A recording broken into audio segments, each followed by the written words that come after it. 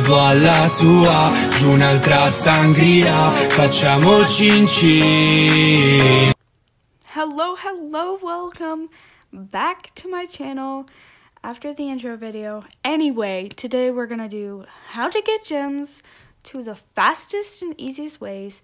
Please forgive me for the noises downstairs. It is totally normal in my house. I live with lots of siblings. It's it's ridiculous.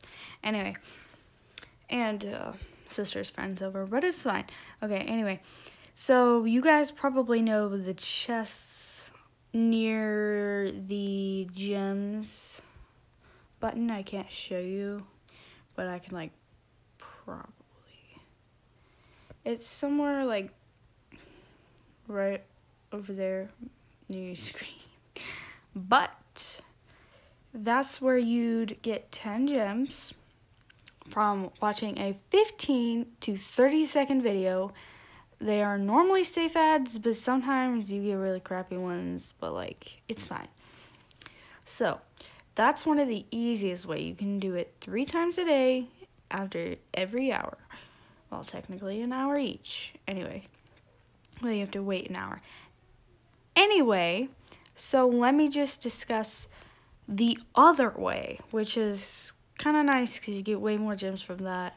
Doesn't take nearly as long, but just go to training grounds. Hopefully I went to the right one. I might have clicked the wrong one, but it's fine. It's fine. Okay, anyway. So, near the training grounds, y'all know that battle event thing, right? He'll be around here and around there, you know, just coming around here. What I want you to do is come up here. You see this respawn place? Look, look at my firing. It just continues to refill and doesn't go low. So you want to be about, this is probably, no, right here. Yeah. And you want to make sure that it works. And whenever the ship comes through, through there, I want you to hit it like this. You're probably going to want a flexible dragon, which is one of the easiest ones and the best suggestions because if you're in fifth through first place in gold, you have the most likely chance to have gems. But you can also earn stables from this. And I have a ton of stables from this and other chests, which is not surprising. But anyway, that is also a really good way to earn stables for free. Um, and you, uh, you can find those chests around. Um, well, yeah, those things don't give you gems.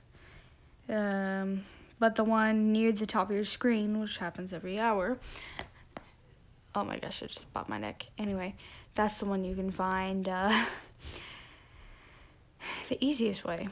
Well, that's the easiest way to find stables. And let me just show you what happens whenever you get too many stables. oh my gosh. You guys are gonna like yell at me for this because like it's ridiculous. Okay, I have like no kidding. Okay, like this one isn't even full. This one isn't full. This one isn't full.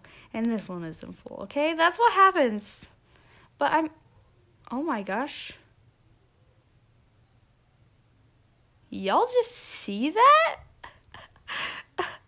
oh my gosh, okay, I think I'm stuck now. Or am I still still falling? Um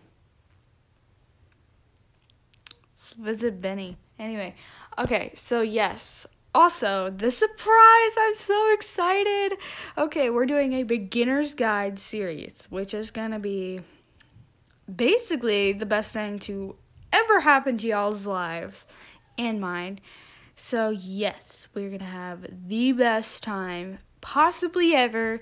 And I'm really excited to announce it to you guys. But that is it for today. And I hope you all have a lovely, lovely day. I broke that.